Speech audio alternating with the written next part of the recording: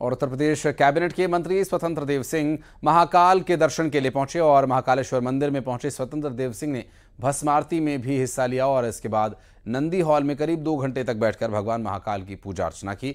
UP के cabinet मंत्री मंदिर में चांदी गेट के पास देहरी पर शीश झुकाकर भगवान महाकाल को नमन करते नज़र आए और महादेव को जल अर्पित कर उनका आशीर्वाद लिया। और यहाँ एक छोटा सा ब्रेक जल्द लौटते हैं। पर सवाल खड़े हो रहे हैं। क्या एमपी के अस्पतालों में पर्याप्त सुरक्षा के इंतज़ाम हैं? इसका जायजा लेने के लिए न्यूज़ 18 की टीम सतना जिला अस्पताल पहुँची। सुरक्षा के इंतज़ाम क्या थे वो तो आपको दिखाएँगे ही। 400 बेड के जिला अस्पताल में हमेशा भीड़ लगी रहती है। हर रोज करीब 1500 मरीज़ यहाँ पर पहुँचते हैं। नर्सिंग स्टाफ में 90 प्रतिशत महिलाएँ हैं, लेकिन सुरक्षा के लिए 20 भी गार्ड नहीं हैं 20 से भी कम गार्ड्स हैं। अस्पताल में सीसीटीवी कैमरास लगे हुए हैं, लेकिन काम नहीं कर रहे।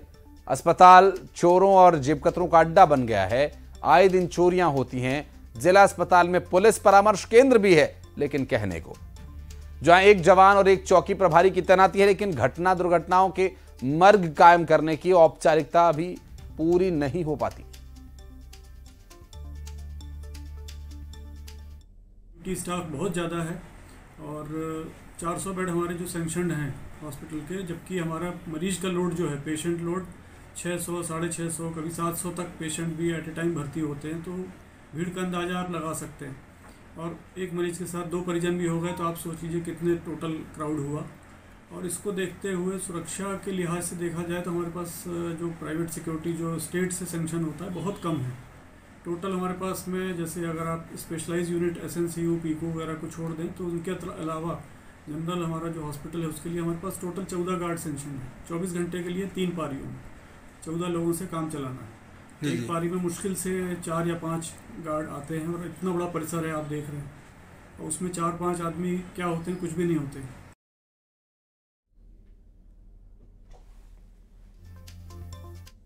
को लेकर पूरे प्रदेश में भी डॉक्टरों की सुरक्षा और मरीजों की सुरक्षा को लेकर सख्त निर्देश दिए गए हैं। हम हैं सतना जिला अस्पताल में और यहाँ आज सुरक्षा व्यवस्थाओं का जायजा लेने पहुँचे हैं। कहने को तो यहाँ पे सीसीटीवी कैमरे लगाए गए हैं, सुरक्षा गार्डों की तैनाती की गई है, लेकिन ये सिर्फ़ नाम मात्र के हैं। सतना जिला अस्पताल चार सौ बेड का अस्पताल है, लेकिन साढ़े सात सौ से ज़्यादा यहाँ पे मरीज़ भर्ती हैं। और ओपीडी की बात करें तो पंद्रह सौ से ज़्यादा लोग प्रतिदिन यहाँ उपचार करने आते हैं। कुल मिला के सतना जिला अस्पताल में मेला लगा रहता है और इसी संबंध में हम जानना चाह रहे हैं कि एक सुरक्षाकर्मी दिख रहे हैं जिनका नाम राहुल बताया जा रहा है। राहुल जी सतना जिला अस्पताल में सुरक्षा की बात करें तो किस तरह की सुरक्षा व्यवस्था रहती है? कितने लोग तैनात किए गए और हम लोग हम में तैनात हैं चार लोग दो एक लेबर रूम में एक एस में एक आई में। अच्छा। जी। क्या क्या क्या क्या देखते हैं? किस तरह समस्याएँ आती हैं? यहाँ भीड़ भाड़ न लगे लड़ाई झगड़ा ना हो किसी को। हाँ, हाँ। और सुविधा मिले अस्पताल में। ऐसे प्राय देखा जाता है इतनी खबरें आती हैं कि यहाँ पे मरीज़ के पर्स चोरी हो गया मोबाइल चोरी हो गया मारपीट हो गई विवाद हो गया। ऐसी स्थिति में कैसे निपटते हैं आप लोग? हो के निपटा कराते हैं झेलना पड़ता है हम लोगों को। हाँ। देखते हैं हम लोग। अच्छा पुलिस से मदद मिल जाती है? पुलिस से भी यहाँ पर चौकी बगल में कुछ मदद नहीं मिलती। है ऐसा तो कुछ नहीं देखा गया। हाँ। मतलब सुरक्षा के लिए कुछ है मरीजों के लिए परिजनों के लिए डॉक्टरों के लिए कुछ दिखा है आपको? है मान लीजिए है भी जैसा भी है अंदर जैसे हाँ। आई वगैरह में है। हाँ हाँ। वहाँ गार्ड वार्ड रहते हैं। अच्छा। जी। बाकी जगह नहीं? बाकी जगह भी है तो क्या उतना तो है नहीं जिला हॉस्पिटल है। हम्म, हम्म, हम्म। क्या कहें? भीड़ तो बहुत रहती होगी भीड़ बहुत है। हाँ। यहाँ कोई गरीबों को सुनने वाला भी नहीं है। तो ये पता चलता है कि आज भी किसी मरीज़ का पर्स चोरी हो गया मरीज़ लाइन में लगा लगा हुआ है। इस तरह की वारदातें होती हैं? ये तो मैं नहीं देखा हाँ। सुना भी नहीं। हाँ। मुरैना के अम्बाह विकास खंड में मुक्तिधाम न होने की वजह से एक शव का अंतिम संस्कार करने के लिए घंटों इंतज़ार करना पड़ा। मामला अंबाह जनपद, जनपंचायत का है। जनपद पंचायत, हिंगावली पंचायत का यह मामला, जहाँ पर एक महिला की मौत के बाद काफ़ी बारिश की वजह से अंतिम संस्कार के लिए चार घंटे तक इंतज़ार करना पड़ा। जोरदार बारिश की वजह से शव को ट्रॉली के नीचे तिरपाल से ढककर रखना पड़ा और बारिश रुकने के बाद कहीं जाकर अंतिम संस्कार हो पाया।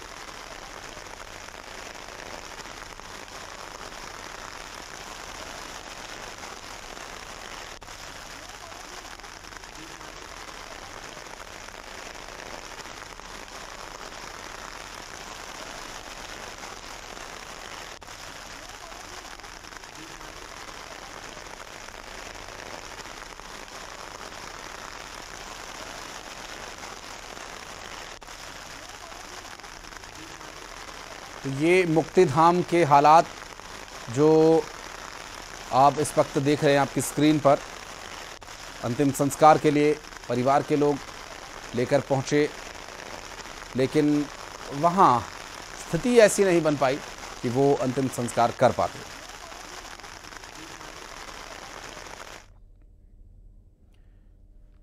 और उत्तर प्रदेश कैबिनेट के मंत्री स्वतंत्र देव सिंह महाकाल के दर्शन के लिए पहुँचे और महाकालेश्वर मंदिर में पहुँचे। स्वतंत्र देव सिंह ने भस्मारती में भी हिस्सा लिया और इसके बाद नंदी हॉल में करीब दो घंटे तक बैठकर भगवान महाकाल की पूजा अर्चना की। यूपी के कैबिनेट मंत्री मंदिर में चांदी गेट के पास देहरी पर शीश झुकाकर भगवान महाकाल को नमन करते नज़र आए और महादेव को जल अर्पित कर उनका आशीर्वाद लिया। और यहाँ एक छोटा सा ब्रेक जल्द लौटते हैं।